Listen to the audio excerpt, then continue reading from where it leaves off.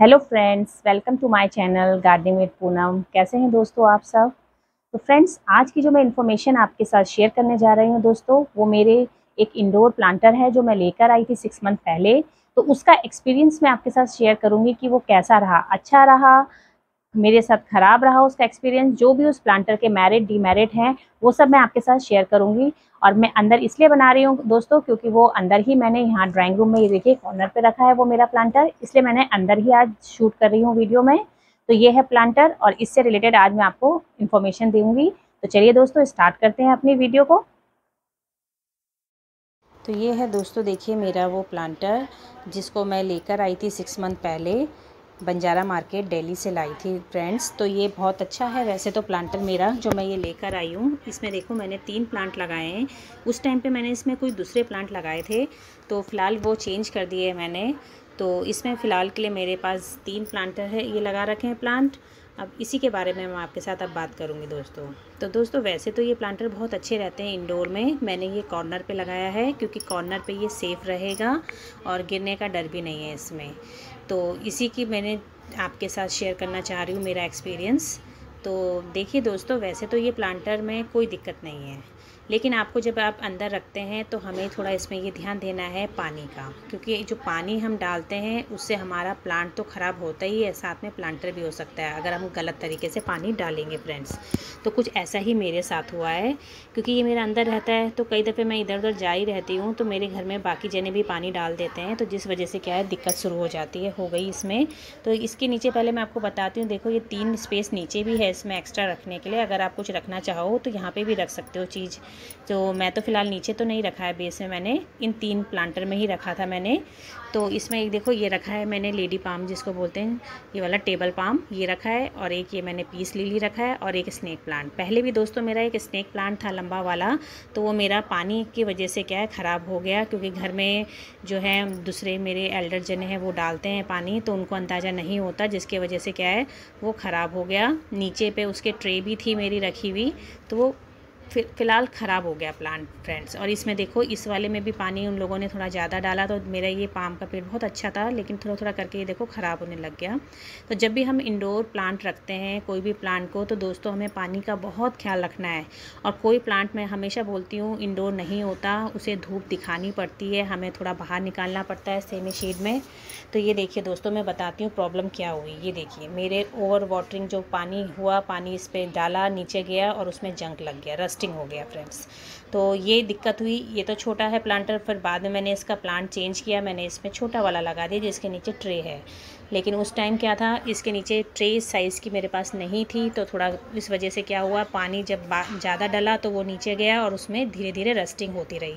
तो मैंने जब देखा तो मेरा प्लांट भी गया साथ साथ मेरा पॉट में भी दिक्कत आ गई दोस्तों। तो आज मैं यही एक्सपीरियंस बताना चाह रही थी आपको कि वैसे कोई प्लांटर में कोई दिक्कत नहीं है, लेकिन आपको अगर उसे अपने साथ लॉन्ग लास्टिंग बनाना है तो थोड़ी केयर हमें करनी पड़ेगी। जैसे हम अपने प्लांट की केयर करते हैं, वैसे हमें प्लांटर को भी ऑब्ज़र्व करते रहना है।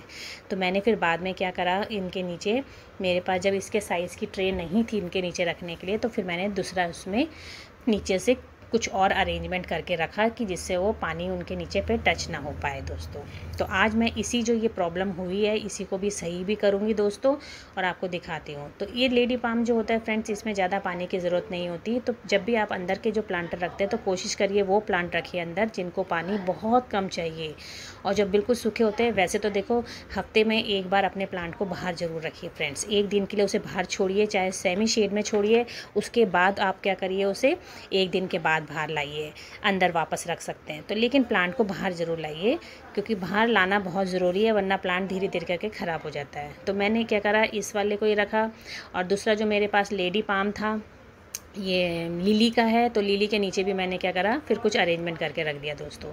तो अब मैं क्या करती हूँ, इनका क्या करूँगी पेंट करती हूँ दोस्तों, क्योंकि मुझे इसको बचाना है अपने प्लांटर को। लेके तो मैं इसको लेकर आई थी, सस्ता लाई थी फ्रेंड्स साढ़े ग्यारह सौ रुपये का मैं लाई थी। मैंने आपके साथ शेयर भी किया था एक्सपीरियंस उस टाइम पर तो लेकिन यह है कि कोई लॉन्ग लास्टिंग कोई चीज़ नहीं होती दोस्तों, ख़राब हो जाती है।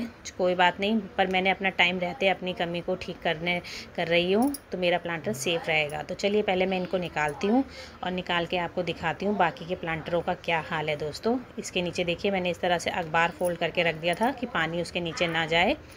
और ये छोटा था इसमें तो इसमें तो मेरा था नीचे की ट्रे। और इसके नीचे जब मैं इसका साइज़ ना नहीं आ पाया तो मैंने इसके नीचे एक पॉली बैग का अरेंजमेंट किया कि जिससे पानी नीचे ना जाए। तो आप लोग भी अपने प्लांटर के अकॉर्डिंग देख लीजिएगा। तो ये देखो, पहले दूसरे में कम हुआ, लेकिन जो तीसरा वाला मेरा प्लांटर है, इसमें मेरा ज़्यादा रस्टिंग हो गई है दोस्तों। तो इसमें मैं पेंट कर रही हूँ। मेरे पास जो घर में पड़ा था, ये बर्जर के छोटे पेंट लेकर आए रहते मेरे। प्लास्टिक के जो मेरे प्लांटर कर, बनाती हूँ डी करती हूँ, उनके लिए होते हैं इस्तेमाल। तो इसी इसी से मैं इसमें करूँगी पेंट तो सबसे पहले हम इसे अच्छे से मिक्स कर लेती हूँ दोस्तों क्योंकि ये जो है एक साथ वैसा गाढ़ा हो जाता है तो थोड़ा सा मैंने थिनर डाल के उसे ढंग से कर लिया है घुमा दिया है। और अब मैं देखो इसमें लगा रही हूँ और इसमें दोस्तों कम से कम मैं दो कोटिंग करूँगी क्योंकि दो कोट दो, दो कोटिंग के अलावा वो नहीं तो चल नहीं पाएगा। तो दो कोटिंग करनी बहुत ज़रूरी है दोस्तों। तो ये देखिए मैं इसमें कोटिंग कर रही हूँ। ये कर दिया मैंने। और अच्छे से करना है फ्रेंड्स गाढ़ा गाढ़ा करके कीजिए। तो ये एक कोटिंग मैंने कर दी है और अब मैं इनको थोड़ी देर छोड़ूँगी और उसके बाद में उसमें दूसरी कोटिंग मारूँगी। क्योंकि तब फिर क्या होता है, सेफ़ हो जाएगा वो हमारे पास। तो ये देखिए, तीनों प्लांटर में कर दिया है मैंने। दोनों को, तीनों कोटिंग दो कोट मैंने तीनों प्लांटर में कर दी है। और अब मैं इनको ओवरनाइट पूरा जो है सूखने के लिए छोड़ूँगी क्योंकि अच्छे से सूखेगा तभी नहीं तो वो क्या होगा गीला रहेगा तो मेरा नीचे, जो भी मैं उसके नीचे रखूँगी वो उसमें चिपक जाएगा फ्रेंड्स।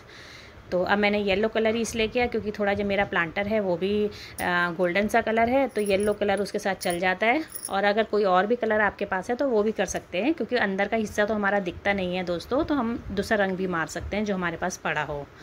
तो इसको हमेशा फ्रेंड्स कोशिश आपको ये करनी है कि आप इसे कॉर्नर पे ही रखें, जैसे मैंने रखा है कॉर्नर पे, क्योंकि यहाँ पे अगर आप उसे कहीं और किसी जगह पे रखोगे तो वो क्या होगा, आपका कहीं और रखने से फ्रेंड्स गिर सकता है, कभी आप कोई जना छेड़े, बच्चे टच करते तो गिर भी सकता है। तो कॉर्नर पे रखना सबसे बेस्ट है और सेफ़ है, क्योंकि यहाँ पे ना हमारा प्लांटर हिल पाएगा जल्दी से, ना हमारा प्लांट भी अगर, क्योंकि हिलेगा गिर गया तो हमारा प्लांटर टूट प्लांटर के साथ साथ प्लांट का पॉट जो है वो भी टूट सकता है फ्रेंड्स तो हमें इस चीज़ का ख्याल रखते हुए हमें ये काम करना है। तो देखिए, अब मैंने फिर से रख दिया, कितना सुंदर लग रहा है ना फ्रेंड्स तो आपको यही एक्सपीरियंस मैंने आपके साथ शेयर करना था। तो मैंने आपको अपना बता दिया, दोस्तों, अगर आपका अपने प्लांट को भी प्लांटर को भी चेक कर लीजिएगा, दोस्तों. अगर इस तरह की कोई दिक्कत हो रही है तो उसे सही कर लीजिएगा।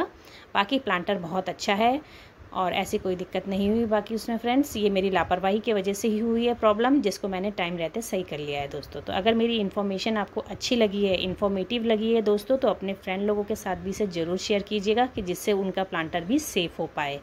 और अगर आप मेरे चैनल में नए हैं तो प्लीज़ मेरे चैनल को सब्सक्राइब कीजिए और बेल आइकन को ज़रूर प्रेस कीजिएगा कि मेरी फ्यूचर में आने वाली वीडियो की इन्फॉर्मेशन आपके पास पहले आ जाए। तो मिलते हैं इसी तरह से किसी और नेक्स्ट इन्फॉर्मेटिव वीडियो के साथ आपके साथ. Till then bye friends look wise देखिए कितना सुंदर लग रहा है. ओके बाय दोस्तों.